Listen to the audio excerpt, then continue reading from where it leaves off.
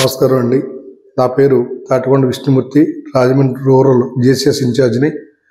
మరి రాష్ట్ర ముఖ్యమంత్రి మరి వైఎస్ఆర్ కాంగ్రెస్ పార్టీ జాతీయ అధ్యక్షులైనటువంటి జగన్మోహన్ రెడ్డి గారికి జన్మదిన శుభాకాంక్షలు తెలియజేస్తూ మరి రానున్న రోజుల్లో మరింత ఉన్నతమైనటువంటి స్థానంలో జగన్మోహన్ రెడ్డి గారు ఉండాలని ఆశిస్తూ మరి ఎంతో మంది బడుగు బలైన వర్గాలందరికీ కూడా అండగా జగన్మోహన్ రెడ్డి గారు ఉండాలని ఆశిస్తూ మరి అదేవిధంగా జగన్మోహన్ రెడ్డి గారు ఆదేశాల మేరకు మరి రాజమండ్రి రూరల్ మండలం రేపు రాబో శాసనసభ ఎన్నికల్లో మరి వైఎస్ఆర్ కాంగ్రెస్ పార్టీ పతాకాన్ని ఎగరవేయడానికి అంతా మేమంతా కూడా కేటర్ అంతా కూడా సిద్ధంగా ఉన్నాం.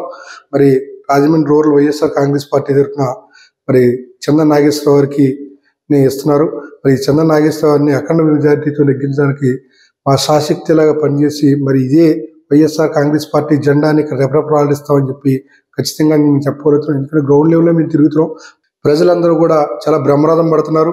మేము చూస్తుంటే మాకే ఆశ్చర్యం వేస్తుంది. మంచి గొప్ప పార్టీలో మనం ఉన్నాము.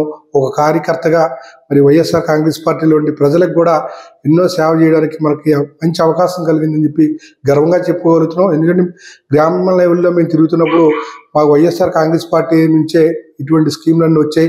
గతంలో మాకు ఏ స్కీమ్లు రాలేదని చెప్పి చెప్పేవారు. మేము చాలా గర్వపడుతున్నాం. ఇలాంటి మంచి బలమైనటువంటి నాయకుడి యొక్క నాయ నాయకత్వంలో మేము పనిచేస్తున్నందుకు చాలా గర్వపడుతున్నాం.